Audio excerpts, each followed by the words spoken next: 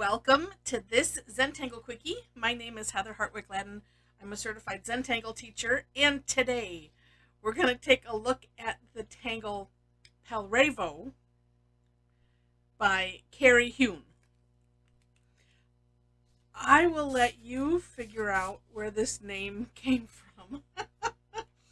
it's neat. All right, so we're, uh, grid pattern first. And I'm going to divide this.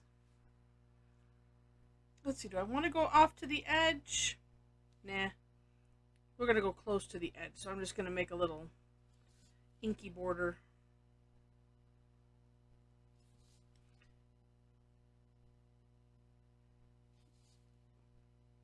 All right.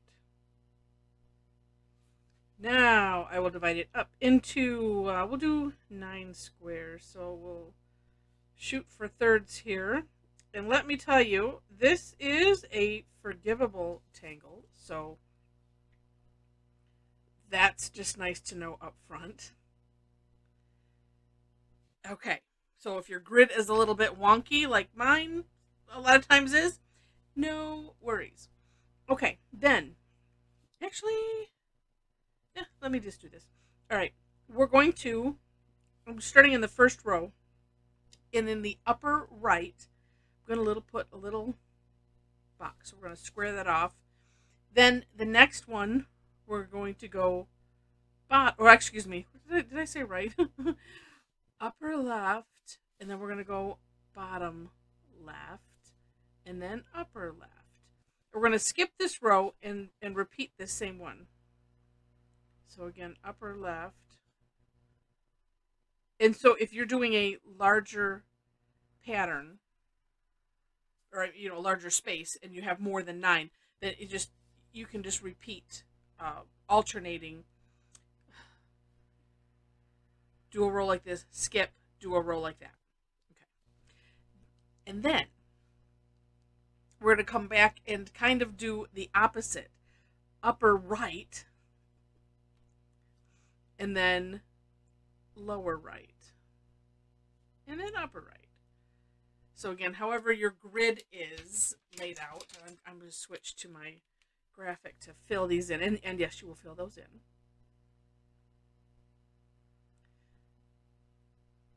You know, honestly, if you start off with the wrong one, so you can see where it, it's upper, lower, upper, lower on one side, and then flipping it around opposite on the next row.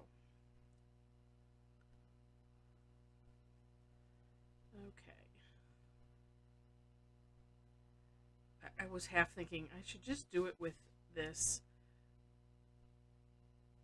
But that's okay. Sometimes I don't like to because, um, well, I could, I'm going to expand this here. Well, I suppose you can work and get that nice um, corner with this. And if I need to, we can come back with the the 01 or a smaller pen if you're not using um, you know microns or something that have um, have the numbers on them. But it does make it handy to have something a little thicker just to do these little fill-in places so it goes a little faster. Okay. And these remind me, well, not necessarily these, more of these remind me of uh, bowling scorecard. Just a little bit. Okay, there we go.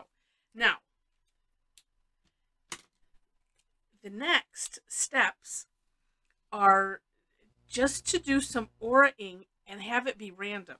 Now, this is where I usually, you know, take a deep breath, and I think that's why I've put off doing this uh, this tangle for a while. And um, somebody on YouTube, we were, it was asking a question, uh, about something else and then had mentioned, oh, I'd really like to see this tangle. And I was, I was like, oh, I know that tangle, and oh, I've not done that one because I, you know, I looked at the step out and I'm like, oh, it has randomness.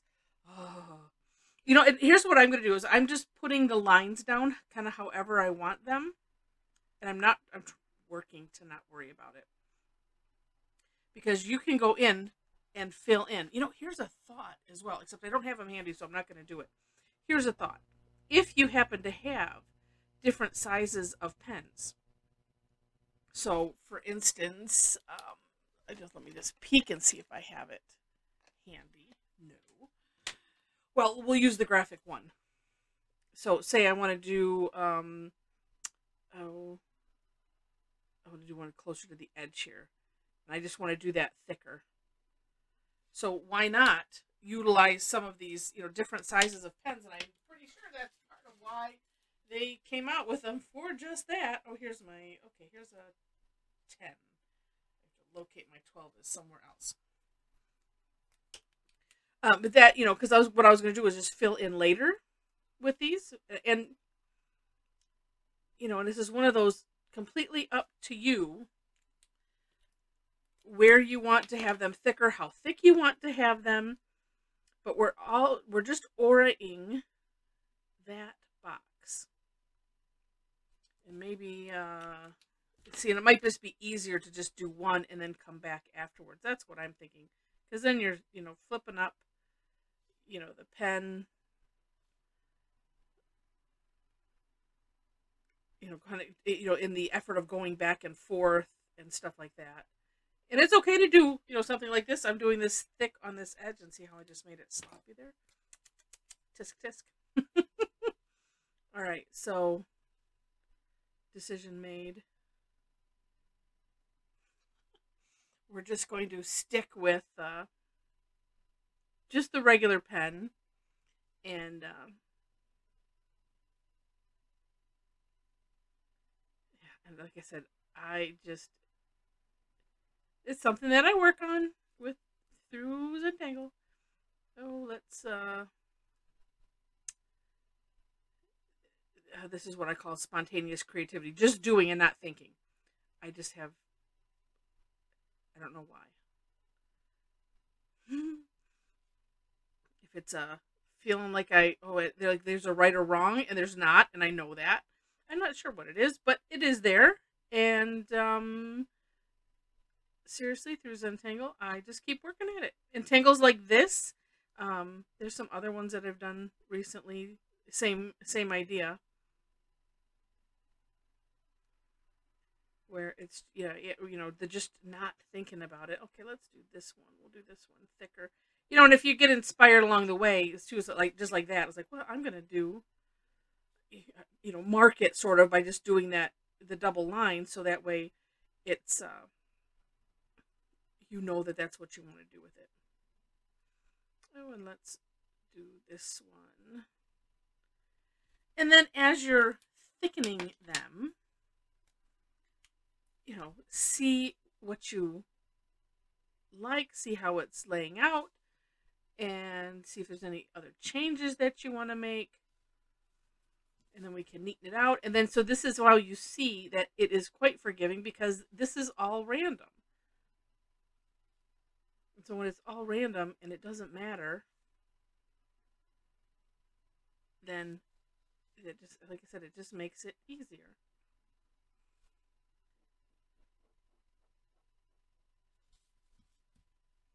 And then what I'm probably going to do is maybe come back and neaten up some of these if they're just a little bit too out of control. I see some little wisps here and there. And let me thicken this one up because just one Oh, and two, you can put, you know, of course, as many lines as you want. I'm just kind of stuck with three-ish. And then also, you don't necessarily have to. I kind of have a thick one in each one, don't I? You know, it's like you don't have to do that either. You can leave some that just have regular lines. But, you know, let's let's do this with, uh, um, ooh, we'll do two in this one, because you could do that too. And I think I put these two together just thinking I'll just have a couple close together, but now apparently I have now decided that I'm filling that in.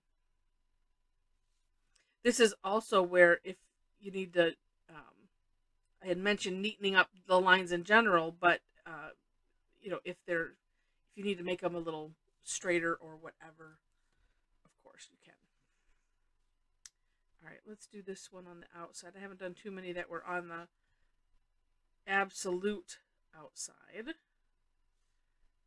Okay, and then we're going to do some shading.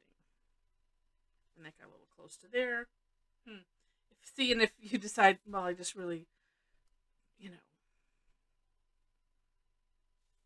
well, debating, debating. Let's see. Oh, neat. You know, it's one of those things where if, if somebody else was doing it, I'd probably like it a lot better. And then that tells me if I let it, just let it sit for a minute, uh, it's one of those that you'll come back and go, oh, look at how neat that is. Let's just straighten that up so that way it looks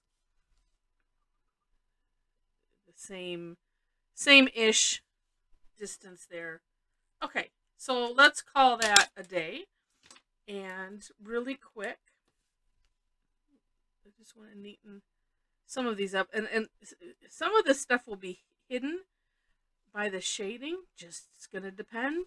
And then at the same time, as we all know, well, we who, if you've been doing Zentangle for a little bit, or at least following my videos, you know that in the end, it doesn't matter because it's all going to be perfect.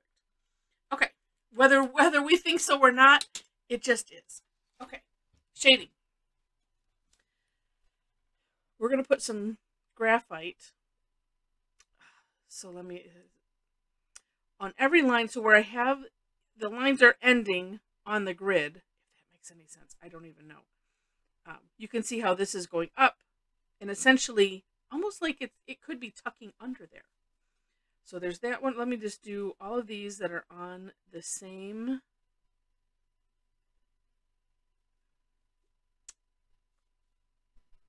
going the same direction. Oh, apparently it's just uh, just those. Yes, I'm sure I'll find the ones that I miss. Okay, and you can see what I mean. Where the line is going up, we're just going to cross, you know, those lines right where they're essentially tucking under, and that's what we're going to make it look like.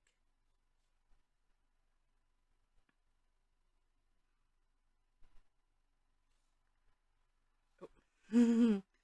and if you end up, if you end up figuring out where the name came from, uh, don't don't uh, don't uh, no spoilers for for anyone that hasn't. You could just put "got it" in the uh, in the comments if you want.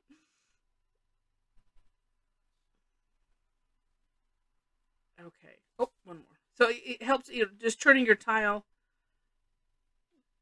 and then like I said, putting the graphite and, and if you notice I'm putting it on the side of the box where the lines are going up. So I, I want to avoid, you know, um, this part here.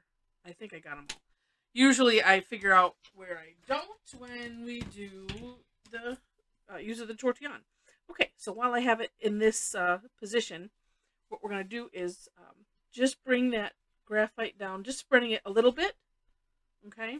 Make a little bit of a gradient. It will all depend on how big your spaces. What we don't want to do is have it be all gray, so just bring it out a little bit. And then the way I do the shading, well, kind of like with the pencil too, where I'm holding the pencil where I want the graphite to be the darkest, and I'm doing the same with the tortillon. So I'm going to just turn it, and we'll just hit all these spaces where it is up. And I'm kind of I'm uh, doing a little bit of a circular motion, not a whole lot, because like I said, I don't want to bring it down too far. Can always go and adjust it afterwards. So I just want to have a bit of a gradient but it does add a lot more um, contrast and drama, if you will, when we leave it kind of dark. And you can always go back and add more. But right now, I just, like I said, I want to have that gradient, but have it, you know, um, steep is the word. I want to have, I want to have a steep gradient. I'm just making stuff up. Although I think, I think you know what I mean. Okay.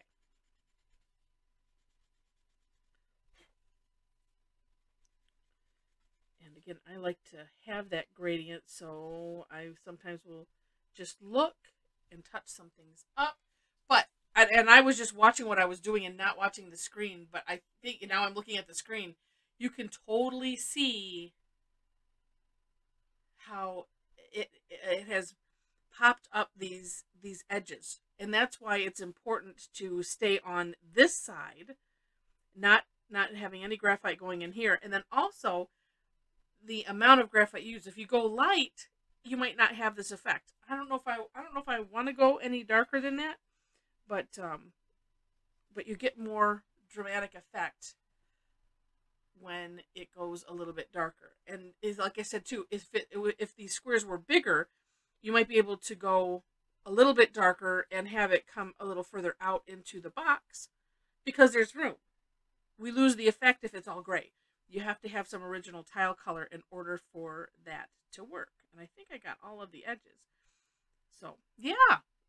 It's a fun tangle. I'm glad I was, uh, I'm glad, um, Keith, that you asked about that. And, uh, and uh, you know, I like the challenge. So uh, you know, I'll, I'll throw that out there also. I, I don't necessarily have a. Sometimes I have a little bit of a plan as to what I'm putting in, but if you have a request, we'll you know put it in the chat and or in the comments, and uh, we'll just see if we can make it happen. All right. In the description box, uh, make sure to check out the links to the step outs. Step outs are instructions if you're new to Zentangle. Uh, I will have both uh, mine as well as uh, a link. I put it under for more inspiration, and that is uh, it's usually to Tangle Patterns or wherever I found the tangle. You know, could be their blog or whatever. So that way you can see it from the originator's hand, and they usually have some extra artwork, and it's always nice to see that too. Plus the story, um, if there is one, you know, to the name or to how the tangle was inspired and all that kind of stuff. Below all of that ways to connect with me. So if you enjoy, if you enjoyed the video, if you like my style of, of uh, instruction, would love to have you join me for some online classes.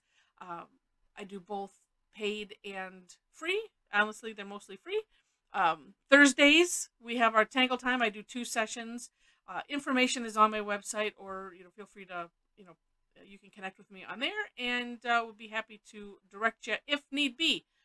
Also, you know, there's uh, we have a nice Facebook group. We have uh, uh, I am posting on Instagram and uh, trying to get Pinterest more in my habit. Pinterest, we don't really have a conversation um, as much as like on Instagram, but uh, but do connect if you you know if you would like to, and yeah, with that. Oh, I forgot to mention. Uh, if if you enjoyed it, also, I appreciate every like, every share, every subscription. So if you, uh, you know, if you would help me out with that, that would be lovely. And with that, this was fun, and I hope you enjoyed it, and I appreciate you watching, and I wish you happy tangling.